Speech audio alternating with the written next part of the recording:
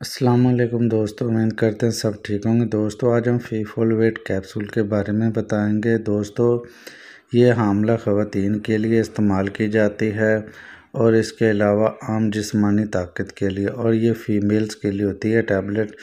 और इसका फ़ायदा जो ये है कि ये हामला औरत को सेहतमंद बनाती है, इसके अलावा चेहरे को खूबसूरत बनाती है, आम जिस्मानी कमज़ोरी को ख़त्म करती है। इस टैबलेट के मुतवातर इस्तेमाल से अगर हमला ख़वातीन में सुस्ती रहती है तो उसका बिल्कुल ख़ात्मा हो जाता है।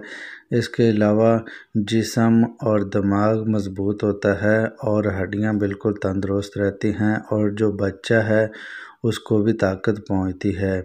इस टैबलेट के इस्तेमाल से और दूसरा ख़वातीन में जो लकोरिया की वजह से कमज़ोरी होती है, उसमें बहुत ज़्यादा मुफीद है और ख़वातीन में आम जो उनके हाथों का रंग पीला और चेहरे का रंग पीला हो जाता है, उसमें भी इसको यूज़ करवाया जाता है।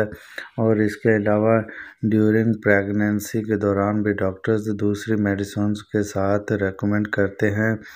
और इसके अलावा पीरियड्स के आने की वजह से जो फीमेल्स में वीकनेस पाई जाती है, उसमें भी इसको यूज़ करवाया जाता है। और इस टैबलेट के इस्तेमाल से न सिर्फ़ फीमेल का रंग निखरता है, बल्कि आम जिस्मानी कमज़ोरी भी ख़त्म होती है। और व्यूवर्स फीमेल जो के कमज़ोर होती हैं, बिल्कुल, और उनके आँखों का रंग स्याह होता है या डार्क स्पॉट्स हो जाते हैं तो इसमें भी इसको यूज़ करवाया जाता है। और इसके अलावा वीवर्स फीफोल वेट कैप्सूल को आम जिस्मानी कमज़ोरी के अलावा चेहरे की रंगत को गोरा करने के लिए भी इस्तेमाल करवाया जाता है।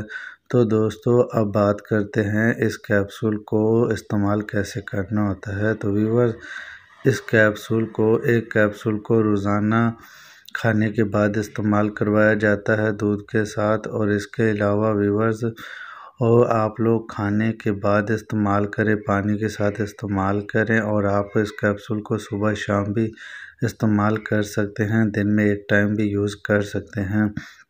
वीवर्स इसके अलावा बात करें साइड इफ़ेक्ट्स की तो इसके कॉमन साइड इफ़ेक्ट्स हैं मतली है वोमिटिंग वगैरह। अब बात करते हैं कि इसको कौन से लोग यूज़ नहीं कर सकते। दोस्तों हाइपर सेंसिटिव एलर्जी वाले लोग इसको यूज़ नहीं कर सकते। ये था आप फीफोल वेट का रिव्यू वीडियो अच्छी लगे तो लाइक करें।